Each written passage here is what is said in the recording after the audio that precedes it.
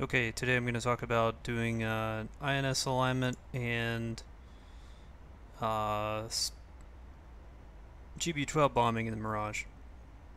Uh, I've got the plane started, basic stuff done. Let's look at the alignment real fast. Uh, by default, nothing's turned on here. So we need to go to this knob, set it to... That's going to be really annoying.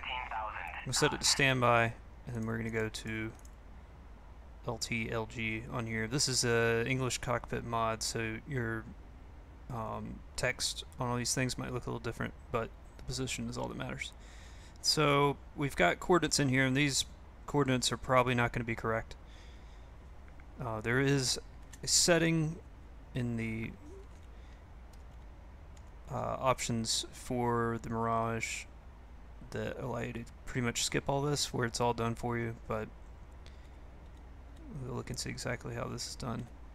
What am I looking for here? So in the um, board, you'll see we've got our initial position, and this is the position I'm at right now. And so I need to input these numbers. And the way to do that is we're going to do north first. So we're going to pick this side, the number one, It'll blank that out. Then we need to pick whether we're north or south. You see there's an N and then an S. So let me turn this up a little bit. There's a N up here, S down here, so we're north. And it shows us north on here now. And then we'll do these coordinates, 430907. That looks good. And hit insert. We'll do our eastings. It's going to be this. We're going to pick east. And it's going to be 034 1344. Add that in there. Done. Now all we'll need to do is flip this over to oops. Are they still correct? Yes. Flip this over to align and our line thing is flashing here which is good. And then I'm going to flip this to status. I guess that's what that stands for STS and so it's it's ready to go now. And then we just hit validate to start it. This will count down through I think it's four different um, accuracies or whatever. This number will drop. We wanted it at one. It's at a 100 now. That's no good so the next thing I'm going to I'm going to do is talk about laser codes. So I happen to know that my JTAC is going to be using laser code 1112 and you can't change this number if the engine's running so you really need to know this ahead of time. Uh, you could just go land somewhere, and shut the engine down, put the number in. It tells you what to push to change those numbers. It's pretty easy. So I'm going to fast forward now until this alignment is done. Okay, so uh, the alignment is now finished. That says ready and it's steady. If you have the default cockpit it says something else, but it'll be a steady green indicator there. Then we can flip this to nav and flip this back to normal and we're ready to go.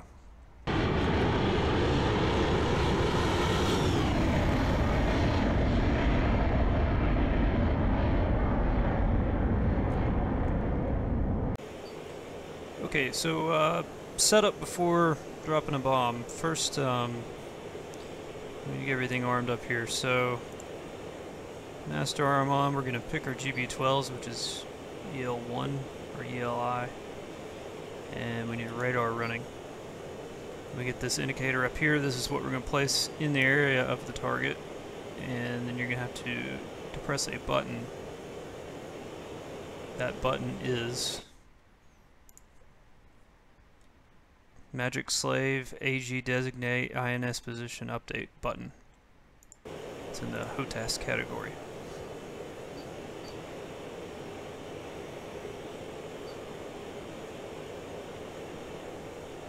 Also need to make sure the bomb is armed, so you want to flip the switch up out of safe It's got three positions, safe being the lowest. It'd be bad if you drop it and it's unsafe.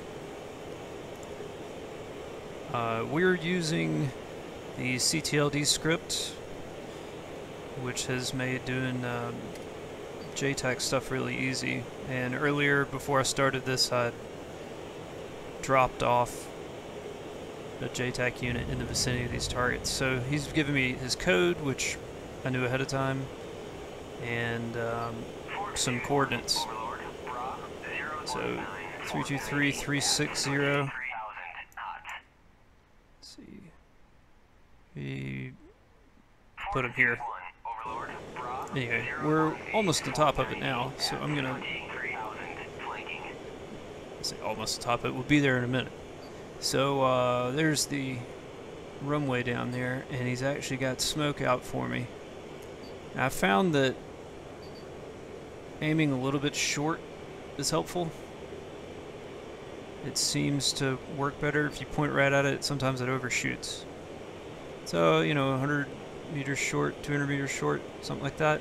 So put the button, and now all I need to do is level out. I've tested this and flown uh, nose down attitude, nose up. It seems to work every time from around 20,000 feet anyway. You do have to be going a certain speed. I think uh, definitely above 350. Now that line's coming up, I've got the weapon release squeezed before the line got there, and it dropped it. It all happened pretty quickly. So let's have a look at this bomb.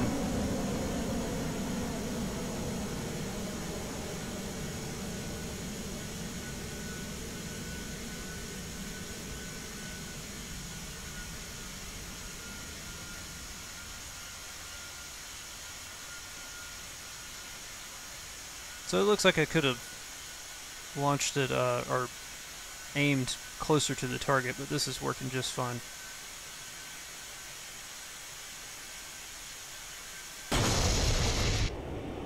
Nice thing about this is he's already got my next target lined up. And so I can turn around and go in for the second one. What's also nice is that at, you know, 20,000 feet, uh, I'm out of the range of any kind of Strelas, that kind of thing. Let's put it about right there.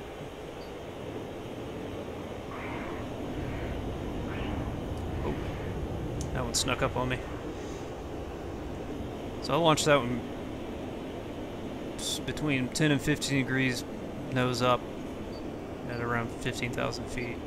Let's see where it goes. I have a feeling it might go over, but it might be alright there too. It's tracking. No, it looks pretty good. I take that back, it seems to be going left. Oh no, it's not, it's hitting it. So the smoke was placed and then the vehicle moved. So here's a spot. And I'll just follow the cues. It'll tell me to turn right or left. And I can go ahead and, and hold weapon release right now. This is simply CCRP.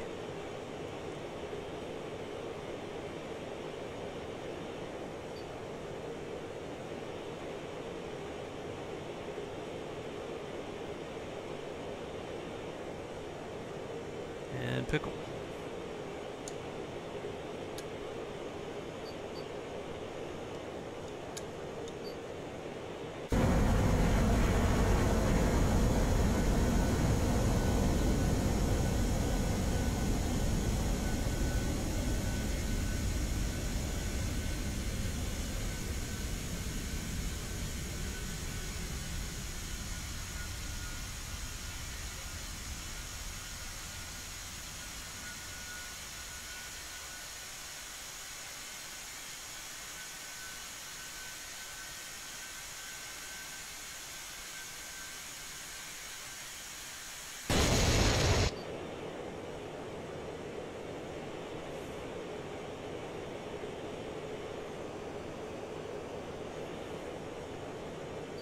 I've got one more.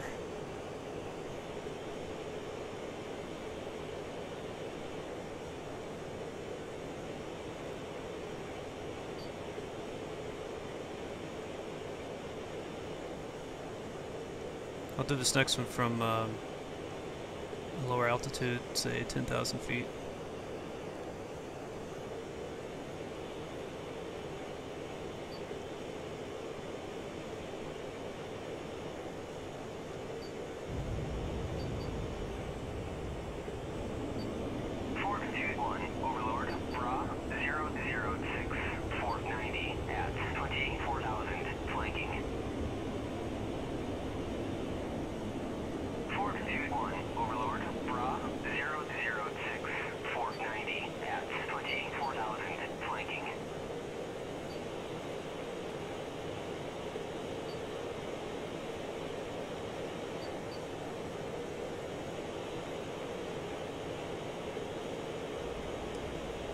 Pretty fast this time.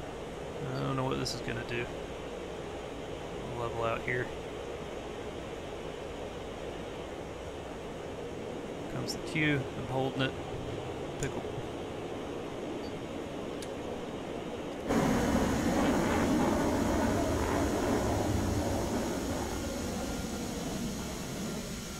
Oh, I'm a little worried about this one.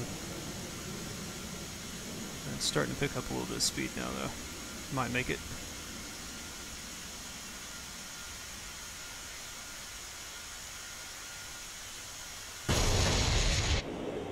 Alright, that's it.